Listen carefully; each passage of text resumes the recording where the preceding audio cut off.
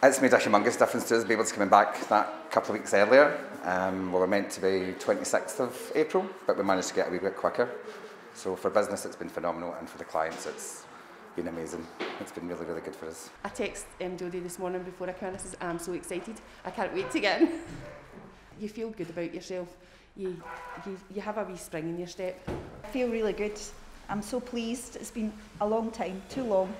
Totally lifts your mood, makes you feel better about yourself.